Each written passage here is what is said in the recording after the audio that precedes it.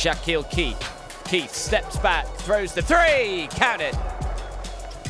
Malone throws it back outside. The three is good. Tries to throw up the three and connects as well right before the buzzer. Gaines, great pass as he was falling over. The three is good. Tremendous little dish from Lionel Gaines. Martinez, oh, what a pass.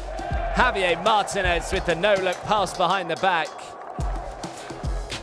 Ortiz, little fake, great pass, the penetration into the lane, and the two is good. Keith in the corner, no defense anywhere near him, grabs his own rebound, perfect start to this third quarter. Now it's a 3v2, fast break is fouled, makes the two and one. Drives to the baseline. Great pass, great hands as well from Lionel Gaines.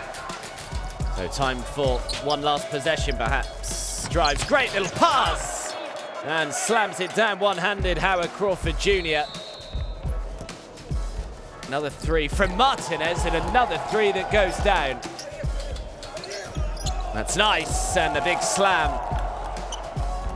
And it's a convincing victory for Olimpia here over Regatas Lima.